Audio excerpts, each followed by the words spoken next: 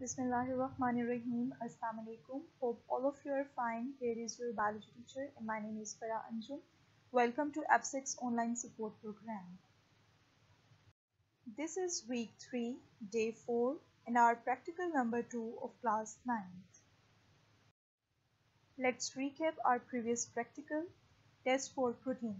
We use biuret reagent which gives purple, violet or lavender color it means that protein was present.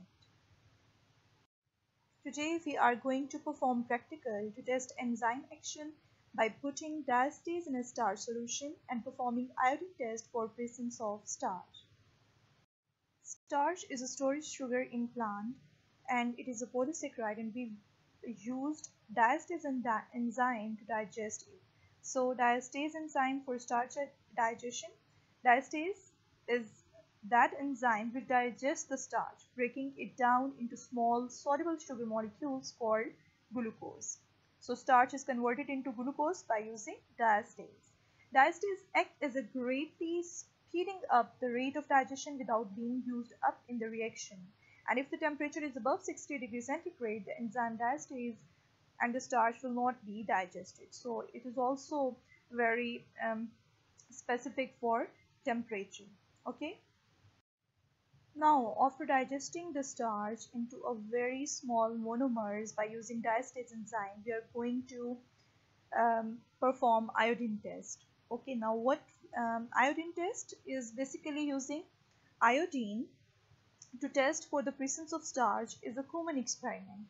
A solution of iodine and potassium iodide in water has a light orange brown color. Iodine has a light orange brown color if it is added to a sample we are taking any sample that contains starch like plant leaves or we take bread potato okay? Then what uh, happen? Experiment. We add 2 ml starch.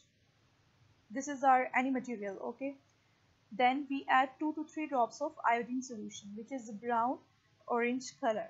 Then what results? We observe that deep blue color appears. So I'm going to show you the deep blue color in the next slide. Here you can see that when I add 2 to 3 drops of iodine solution on potato, it turns deep blue.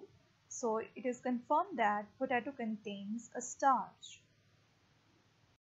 Students, when you uh, cut a potato with a knife, a small slice, you can see or you can observe uh, a whitish material on the knife this whitish material is a starch. It is also present in uh, rice. When you boil the rice, you um, you notice that a fumy whitish uh, appearance occurs. This material is actually a starch. So starch is a storage uh, form and it is present in the plants. Got it? If we perform iodine test, the color black, dark purple or dark blue indicate that starch is present in it. And if after performing iodine test, the color brown, yellow or not changed color mean that there is no starch. Okay. So just blue color indicate that starch is present in that food.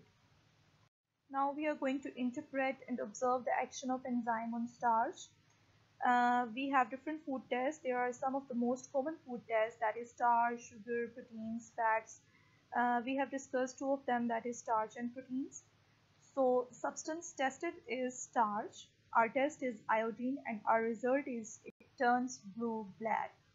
And the next one is protein. We use a biuret reagent, biuret test. Then the result is it turns purple.